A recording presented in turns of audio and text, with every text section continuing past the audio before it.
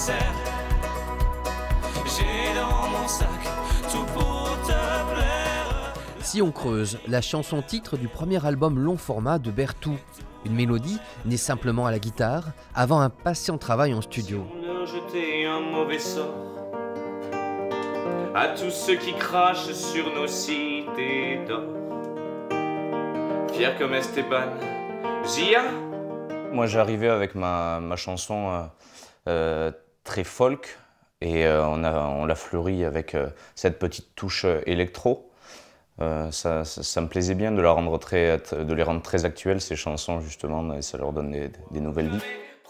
La. Bertou a sorti une première collection de 8 chansons en 2020. On retrouve certaines d'entre elles sous de nouveaux habits grâce à une rencontre à Astafort chez Francis Cabrel avec l'artiste Xam Hurricane.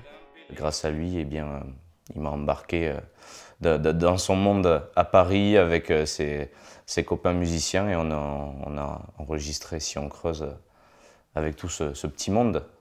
Ça sent la mer, ça sent le rhum. Sur l'album, on entend quelques histoires d'amour malheureuses qui ne sont pas autobiographiques. On y parle aussi de la mer. Ça, Bertou connaît un peu, puisqu'il a vécu une brève mais intense expérience de marin en Australie.